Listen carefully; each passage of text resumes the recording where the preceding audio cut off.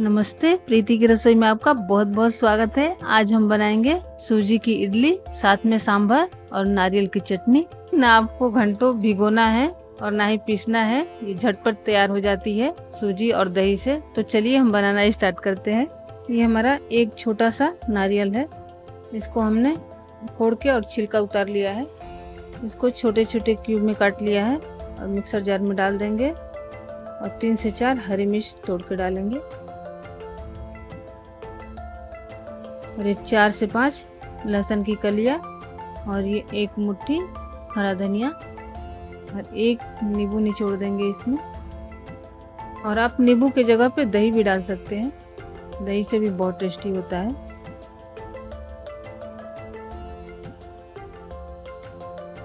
अब हम डालेंगे स्वाद अनुसार नमक और इसको पीस लेंगे और ये हमारा पीस के रेडी हो गया। इसको बाउल में निकाल लेंगे। एक से डेढ़ चम्मच पानी डालेंगे और इसको मिक्स कर लेंगे। और अब हम इसमें तड़का लगाएँगे। पैन में रिफाइन ऑयल डालेंगे, एक से दो चम्मच, और थोड़ा सा गर्म होने देंगे। अब ये गर्म हो चुका है, फ्लेम को कम करेंगे और आधा टीस्पून जीरा डालेंगे और आधा टीस्पून राई। और आधा टीस्पून उड़द दाल और आधा टीस्पून चना दाल डालेंगे। तो थोड़ा सा चलाएँगे इसको, ऐसे हिला लेंगे।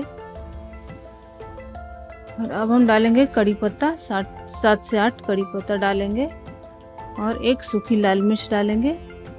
थोड़ा सा इसको चला लेंगे और अब हम गैस को बंद कर देंगे और ये तड़का इसमें डाल देंगे चटनी में। और ये हमारा चटनी तैयार हो गया और इसको साइड करेंगे। और ये हमारी आधी लौकी है।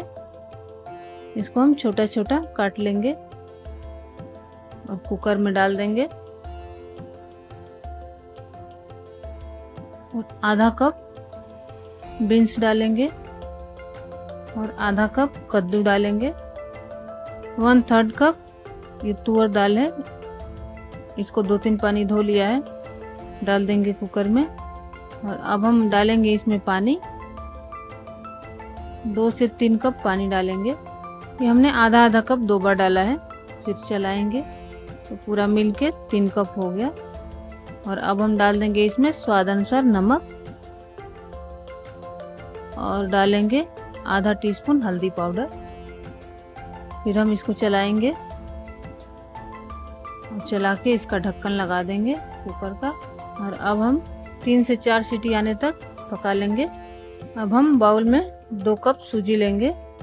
ये मोटी वाली सूजी है, सूजी या रवा। और इडली के लिए आप मोटा या पतला कोई भी ले सकते हैं।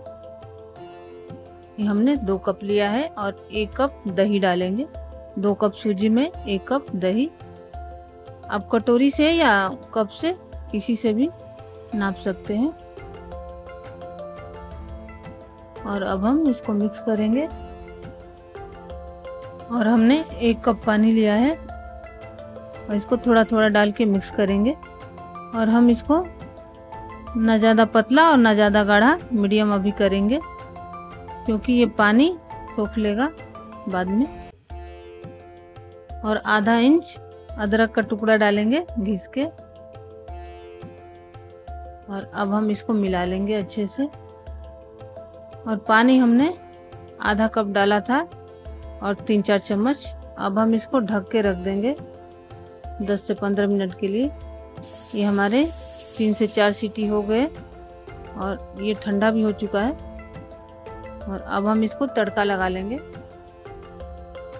कढ़ाई में तेल डालेंगे। ये सरसों तेल है। दो से तीन टेबल स्पून इसको गर्म होने देंगे। ये हमारा गर्म हो चुका है। आधा चम्मच जीरा डालेंगे और आधा चम्मच राई और एक तेज पत्ता डालेंगे। और दो से तीन हरी मिर्च डालेंगे। इसको हमने दो दो टुकड़ा कर लिया है। और दो हरी इलायची डालेंगे। इसको हमने बीच से खोल लिया था। अब हम आधा टीस्पून कुटा हुआ लहसुन डालेंगे। और एक बड़े साइज़ का प्याज डालेंगे। बारीक कटा हुआ डाल देंगे और इसको चलाएँगे। गोल्डन ब्राउन होने तक इसको भूनेंगे। और ये हमारा गोल्डन ब्राउन हो चुका है। अब हम डालेंगे इसमें दो मीडियम साइज़ का टमाटर बारीक कटा हुआ। अब हम थोड़ा सा नमक डालेंगे ताकि ये हमारा टमाटर जल्दी गल जाए। और नमक ध्यान से डालें क्योंकि हमने दाल में भी डाला है। और अब हम डालेंगे आधा टीस्पून हल्दी पाउडर और आधा टीस्पून कश्मीरी लाल मिर्च। इससे कलर बहुत अच्छा आता है। और ये तीखी नहीं होती है। और एक टीस्पून डालेंगे धनिया पाउडर और आधा टीस्पून जीरा पाउडर फिर हम थोड़ा सा चलाएँगे इसको। और अब हम डालेंगे एक टीस्पून सांभर मसाला। फिर हम इसको चलाएँगे। और थोड़ा सा हम पानी डालेंगे एक दो चम्मच के करीब, ताकि मसाला एक में मिल जाए और अच्छे से भुन जाए।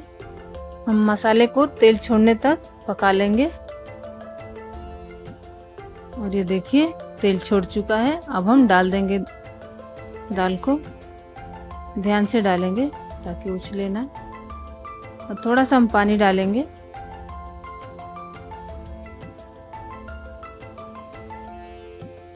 और थोड़ा सा हरा धनिया डालेंगे। और आपको जैसा रखना है, गाढ़ा रखना है या पतला, आप अपने अनुसार पानी डालें। हमने थोड़ा गाढ़ा ही रखा है, फिर हम चलाएँगे। हमने दो चम्मच इमली लिया था, आधा कप पानी में भिगो दिया था, और इसको हमने निचोड़ के सारा रेसे निकाल लिया है। अब हम इसको डाल देंगे, ये आधा कप है, सारा डाल देंगे, और फिर हम चलाएँगे इसको, और इसको उबाल आने तक पकाएँगे।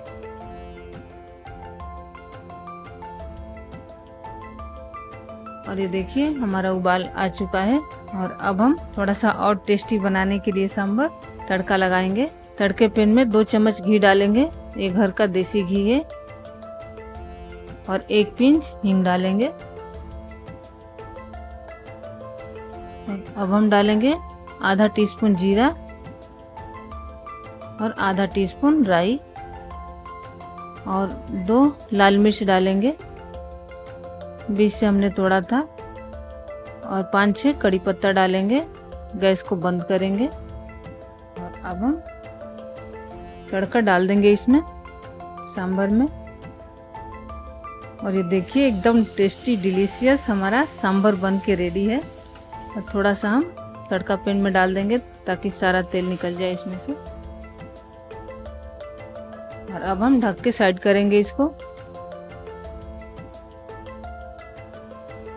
और ये देखिए, हमारी सूजी फूल चुकी है।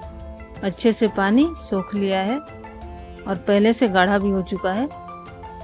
और अब हम डालेंगे थोड़ा सा नमक और एक चम्मच इनो पाउडर डालेंगे।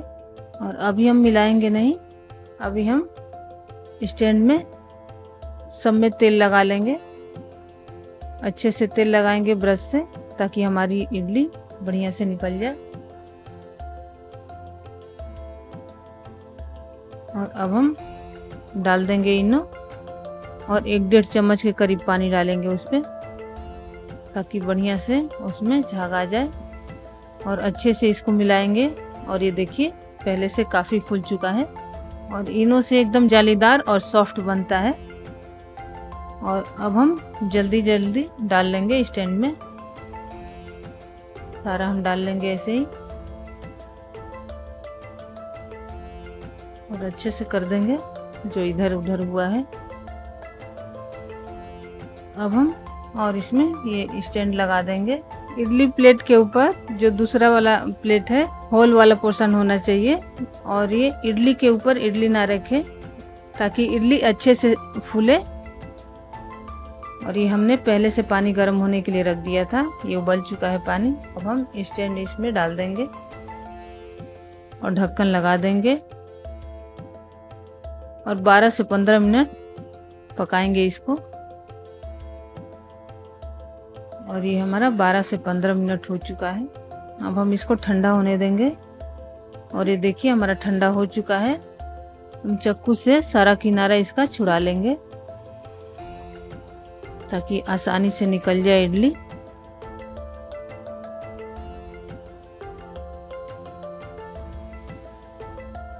और ये देखिए, ये कितना जालीदार बना हुआ है इडली, एकदम सॉफ्ट जालीदार और बहुत जल्दी बन जाता है।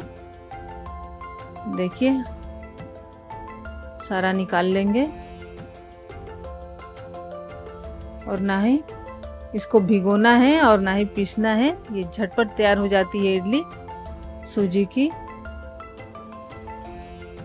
और ये देखिए, ऐसे दबा के दिखाएँगे कितना सॉफ्ट है।